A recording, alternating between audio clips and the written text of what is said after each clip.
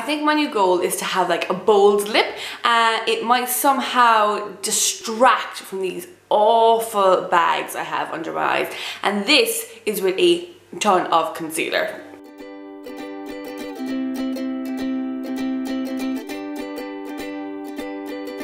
Everyone, welcome back to my channel. Today I thought I would do a really, really quick six week postpartum update. I'm obviously sitting in my kitchen, Caleb is playing outside, I have Emmett in the bouncer and I am rocking him with my foot because that is what a mum does, she multitasks. So I am six weeks postpartum and I had my um, checkup with the doctor yesterday. And if you don't know, I had a scheduled section six weeks ago, obviously.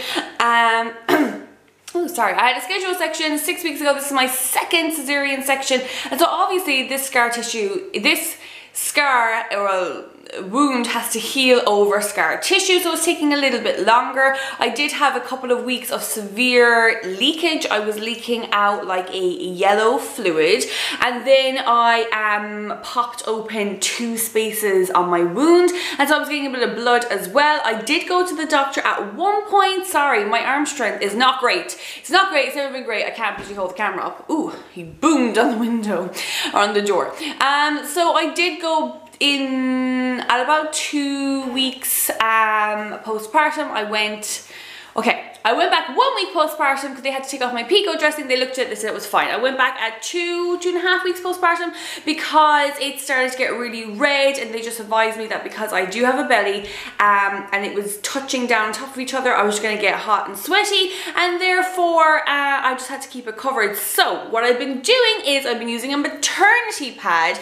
because they are so damn thick and I have been putting it underneath my belly. So I lie on the scar. So like the um, side of it lies on the scar and then I tape it down with some tape I obviously don't tape off the take off the bit that goes in your knickers um, and I hold down the tape and it's been helping I've been, I was given like a fungal cream to put on it just to prevent like bacteria growing and I've also been Oh God, he's playing with a puddle. I, uh, I've also been putting some tal I call it talky powder. It's like talcum powder. I've been putting some talcum powder on it and that really helps kind of dry it out and keep it from yeah, just if it gets too wet, it gets really red. And so that's what I've been doing to keep my wound nice and healthy. It isn't looking too bad. The bleeding parts have stopped. It's, I think it's looking really, really well, actually.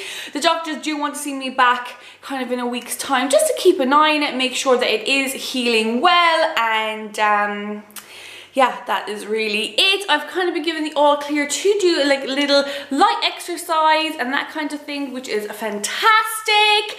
I'm really looking forward to it. I'm kind of just looking forward to getting out of the house. I've told my husband John that kind of come my six weeks postpartum, I'm going to be going out every evening for a little walk and literally I'm just going for a little walk and I'm going to kind of over time gradually build up to a jog. So I was jogging before I had Caleb. I was really enjoying it. It was like I found the exercise that I really loved.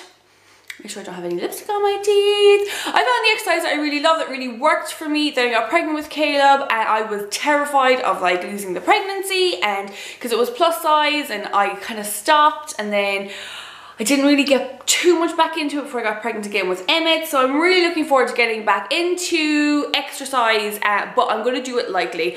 I mean obviously I've been through two sections that is two big abdominal surgeries. I'm only six weeks postpartum so I'm literally going to be going for a, a walk and then moving that to a like a brisker walk to a power walk to a small jog, start and stop kind of a jog, half jog, half walk. And eventually I have like a goal from where I live and it's, I kind of want to get to one point and back jogging fully by the end of the summer. And I think that's like a realistic goal. I've also signed up to like a slimming class. Um, not, obviously I'm breastfeeding, so I'm not going to be cutting down calories and things like that. But just one, I'm living in a new area. So it'll be a great way to meet new people, to just um, myself on track to make sure that I don't snack too much. I bloom and snack all the time. Um, and I put on loads of weight when I was, after I had Caleb, when I was breastfeeding him, simply because I was bloody snacking all the time. I really don't want that to happen this time. I've lost about 10 to 14 pounds or almost a stone. Uh, simply, that was just fluid. So I didn't weigh myself while I was still pregnant, thank God, because the scales were really high when I got on at a week postpartum. And then I lost about 10 to 14 pounds. Well, I lost about 14 pounds or a stone. And then I think I haven't been drinking quite as much water. So it's kind of, um, I'm holding it on to a little bit more. But I basically had 10 to 14 pounds of fluid inside me. And um, yeah, I kind of thought I was eating healthy and stuff, but kind of the weight isn't coming down. I am about about, I think I gained about three stone, three stone with my two pregnancies. So basically I was a one weight, a certain weight when I got pregnant with Caleb, that, that I was still considered say plus size, but I had gotten down and now I am three stone heavier than that. I do think, I'm hoping a good part of it is still fluid because like that's really bad. So I would like the end of the year to at least be my post pre-pregnancy pre-pregnancy my baby's weight which would be great but I've been this weight myself before and I slimmed down to my pre-pregnancy weight before I had Caleb and so I'm gonna do it again. Um, but yeah that is really it. I'm feeling good. I'm really feeling like my body is kind of back um, and that yeah, I'm feeling um, positive and good. Speaking of feeling positive, I'm going to be starting a body positivity series on my channel. I just thought I would mention it here. Uh, it's just, I'm really going, I've really found that I am loving myself right now. And I didn't think I would, especially being as heavy as I am and three stone over what I was before I even had Caleb.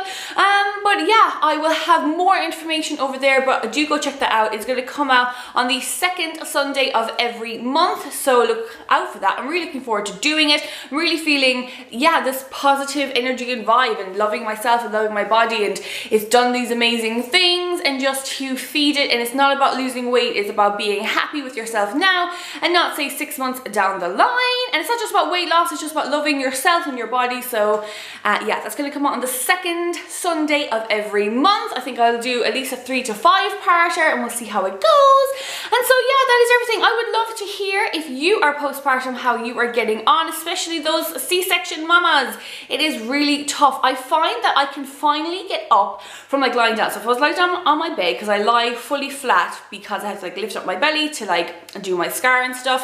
Um, and I was finding like I could not get up. My husband had to pull me up and I find that I can get up now. It's really, really awkward, but I can do it. So that's great. but it's really awkward. Like I'm kind of, I'm still a little bit like a turtle on its shell, but not too badly and yeah I just I don't feel pain anymore during the day so that's really good but yeah I've got oh he's asleep. I've got one bob asleep. I've got one bob's outside. I just thought I would do this really quick update because it's a really busy day and I knew that if I didn't do it now, it wasn't going to get done. If you like this, don't forget to give me a big thumbs up. Subscribe if you haven't already done so. I would love for you to stick around. Uh, yeah, I post three times a week on a Sunday, Tuesday and Friday at 7 p.m. and I have been posting at 7 p.m. I'm so proud of myself. I've been posting at 7 p.m. So do stick around, subscribe and yeah, I hope you enjoyed this video. That's really it. Thanks so much for watching. Bye.